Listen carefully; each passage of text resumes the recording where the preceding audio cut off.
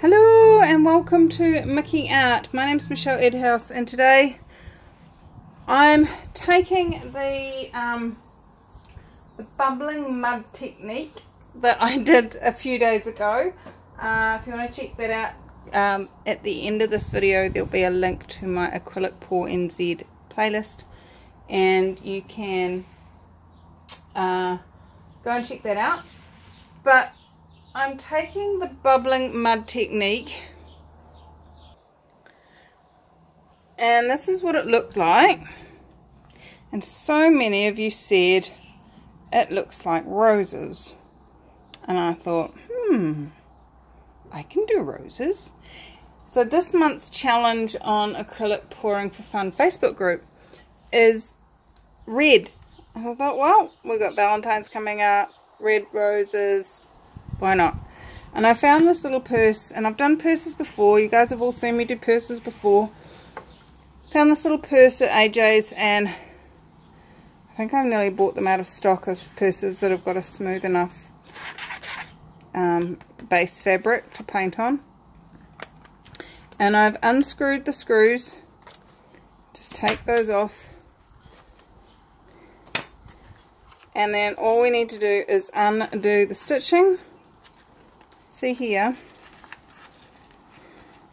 On this you've got the concertina gets stitched in on on one slot. And just by unpicking that one set of stitching I can take I can open it out flat. So I'm going to do that now and then I'll be right back. Ta-da! There it is. It's all flattened out. Um, and I've just put some masking tape down um, to, to hold those bits in place otherwise they can flap around a little bit. And all I'm going to do is sit it on top of this takeaway container and have it nice and reasonably flat. Um, there is more on one side than on the other so sometimes I pack it out a little bit and uh, sometimes I just go, nah, whatever. If what will be, will be. Now, avoiding pink. I really don't want pink in this because I want it to look like blood red roses. So, what are my colours? I don't have a blood red um, paint um, but what I do have is crimson. So we're going crimson. And I'm going to mix it with some gold. And then I am going to also have some Payne's Grey. Now Payne's Grey is like a dark blue black colour. Um, it's black, but if you water it down, it goes blue. So, talking of watering it down, so look at this. See, there's kind of a blue hue to that. Whereas black would be just black. And when you water it down, you get grey. You water this down, you get a kind of a blue grey rather than a grey grey. So I don't have much of that. But what I do have will be enough just to give us if you look at these down in here, it's really funny that I picked this wallet before I decided what I was going to do with it and it turns out that it's already got roses on it. But what I'm looking to create is um, kind of like a, a darkness and then a highlight of gold. Who knows? We'll see if it works, eh? So I don't have a lot of the Payne's Grey mixed up. Let's see, and it's very thick because it's been mixed up for a while. So let's get our gravy jug out because that's how we do this. It's how we roll around here. Now what's a gravy jug? I've had people ask me. It's actually called a gravy separator. And what it is, is the spout comes from the bottom. And you pour your meat juices into the jug let it sit for a few minutes and all the fat rises to the top. and then when you um, when you pour you're only pouring from the bottom so you're pouring off the juices and not the um, still too thick not the fat you leave the fat behind in the gravy jug so it um, it's one way of making your gravy less fatty um, Alright. So, what I tried last time was I put in the brown and then I poured the white on top and then it didn't didn't kind of mix. So what I thought I would do is kind of do a bit of a dirty pour with a majority of red. That's really running really thick too. What's going on here, world? um, the majority of red and then just threads of the black and the sorry the Payne's grey and the gold through the red so that's the plan let's try it is our gold actually running off? yes good so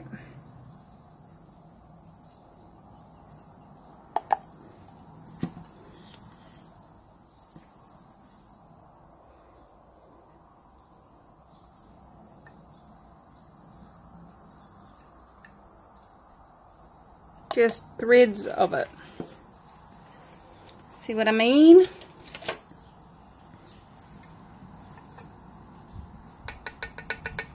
See if it works.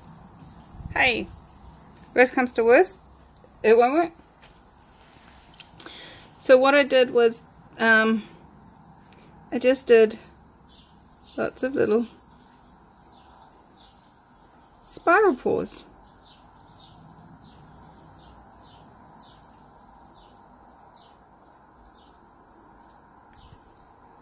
and it took a long time. So if you don't want to sit here and listen to me waffle, please, please, please skip ahead.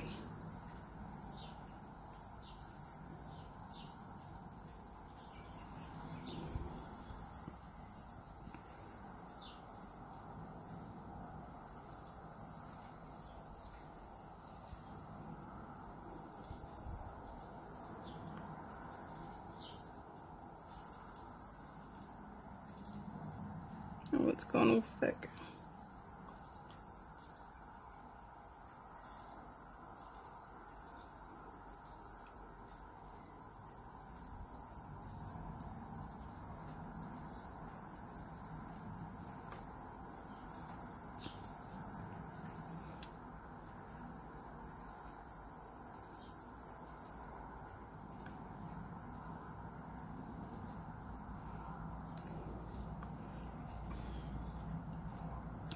Gone all dark. Maybe I shouldn't have stirred it.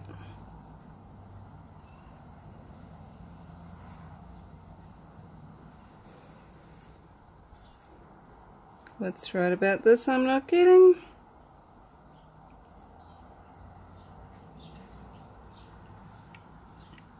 So you'll see I'm moving around and putting my dollops in different places. But just went along a line as the paint coming out changes I would get a line of the same and then a line of the next same as they change and it would be an interesting choice. It's not right or wrong. It's just not the look I'm after. So while it's so dark I'm choosing to space that out a bit.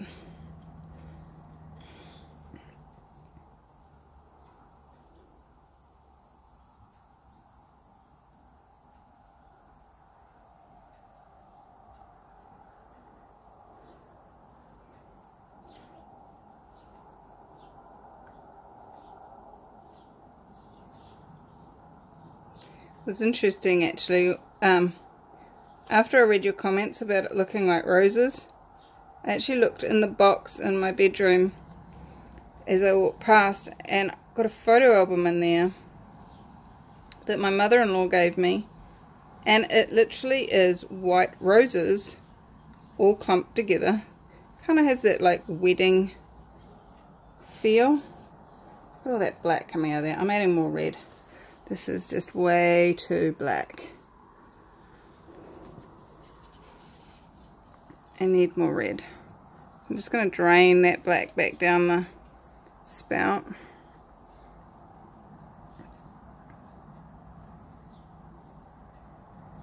and just break it up a bit with some red.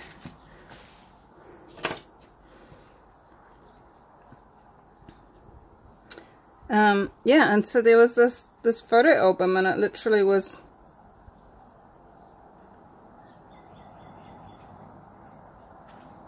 white roses all clumped together, exactly as you guys had described. It was really funny.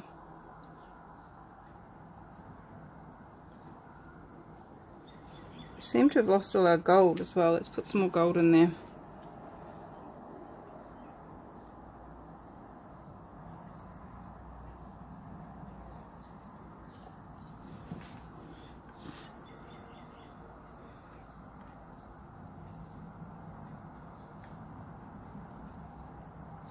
The use of black and white really is something you need to be careful with. in any acrylic pour. They tend to take over. And if that's the look you're looking for, awesome.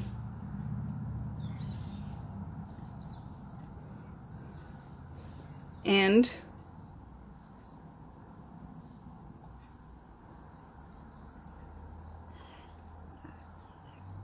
if it's not, you need to be aware that that's what happens.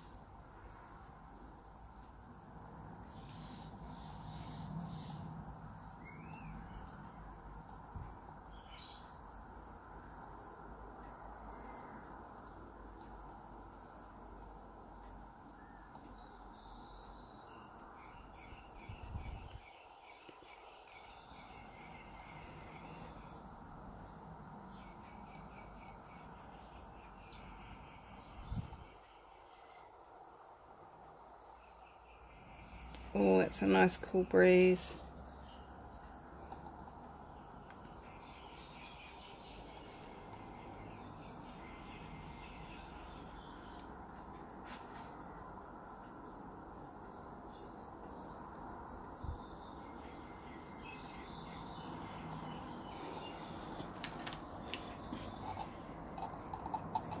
I'm just going to fill up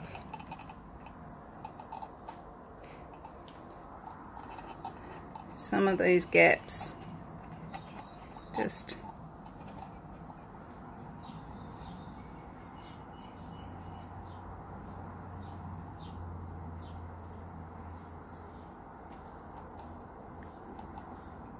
just so when we tilt it runs all over not just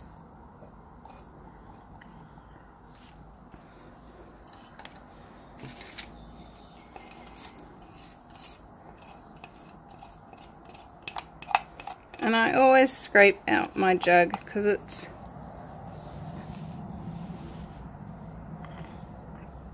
there's so much paint still in there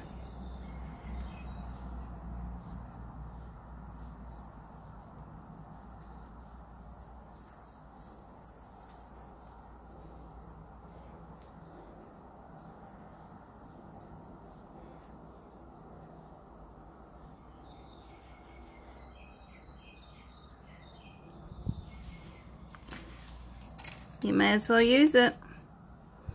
That's my point of view anyway.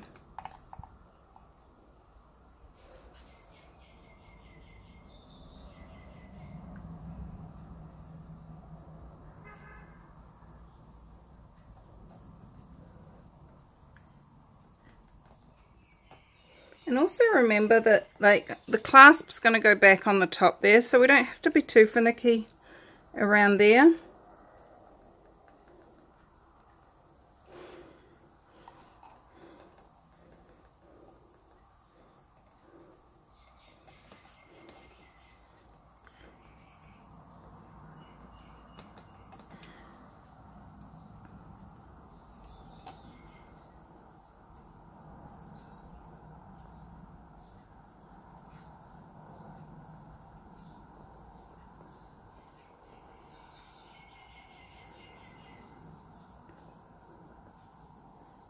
So does it look? Oh, wow. I've been so focused, uh, like so close up, when I look up and look in the camera. It's like, oh, that looks exactly how I wanted it to look. How cool is that?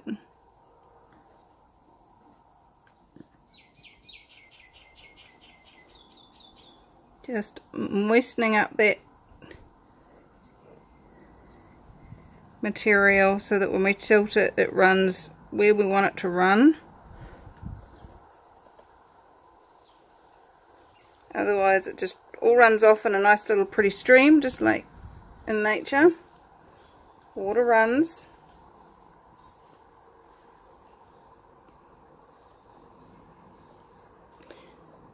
In the path of least resistance. So we're going to make it all the path of least resistance so it runs evenly.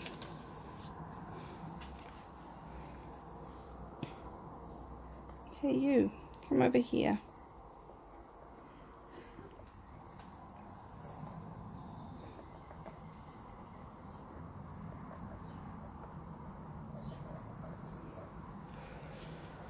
Nearly done. We'll tilt it in a minute, guys. Now, unless there's some in the black and the gold that I didn't know about, there's no silicone in here. But I'm just going to pop any air bubbles.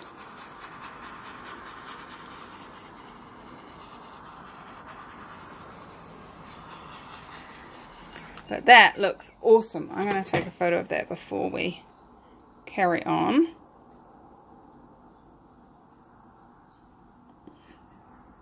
Alright. It really does look like a bunch of roses. Thank you guys for the idea. I love it when you guys give me ideas. And now the trick is to not distort them too much.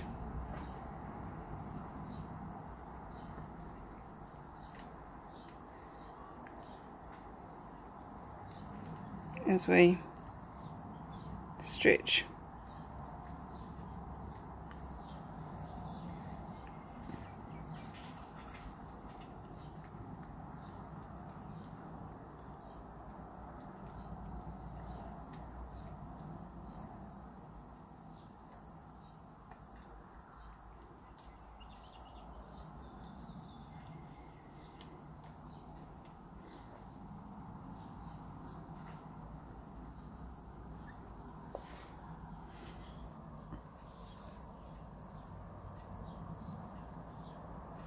You know what? I'm actually going to leave it like that and just let it dry.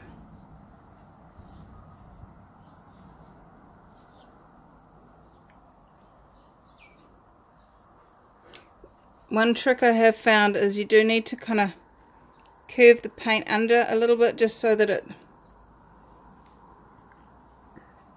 covers the edges so that when somebody's looking from the side of the wallet it's actually covered. And that's looking awesome. I love it. I love it, I love it, I love it a lot. Yay! Alright guys. Uh, what have we got dripped off? Anything of interest? Nope, not really. I'm just going to leave it. Let it dry. And I'll be back when it's dry. Yay! How does it get any better than that?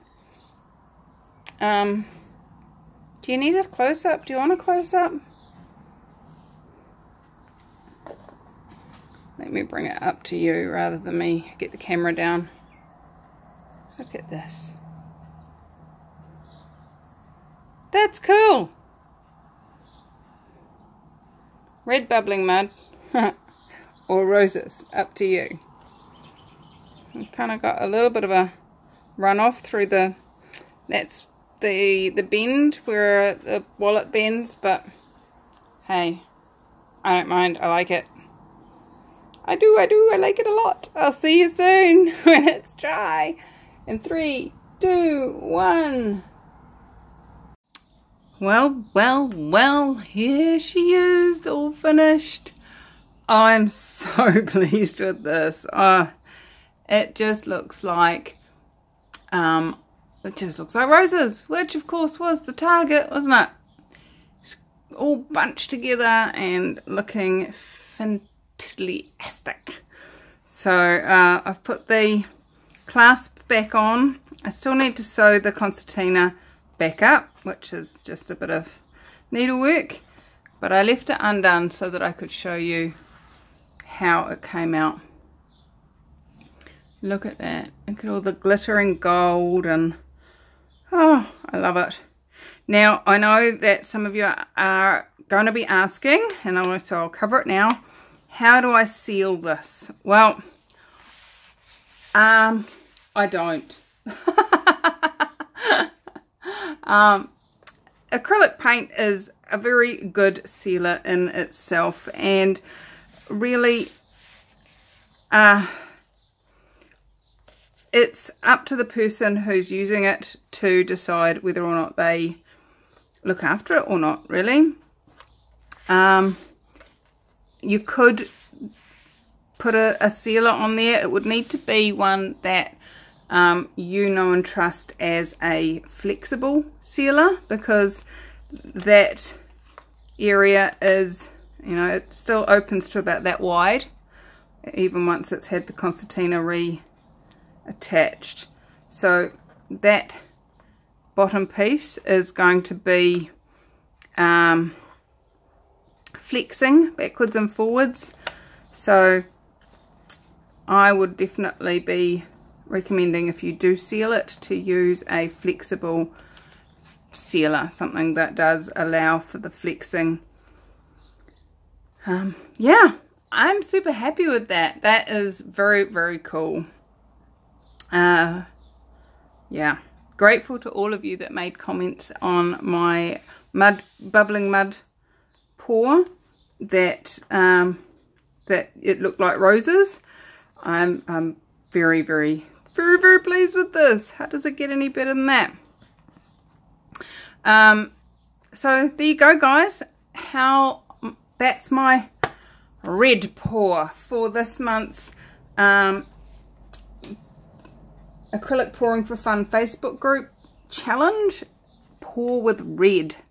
So um, come join us on the acrylic pouring for fun Facebook group. It's a great group of people.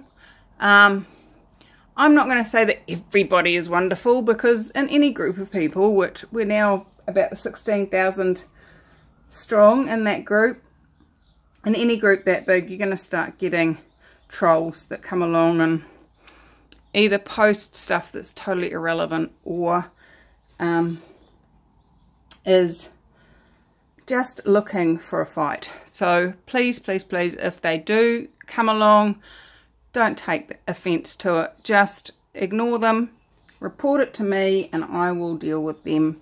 Um, there's no need to have big arguments and start that in the group. So um, come play.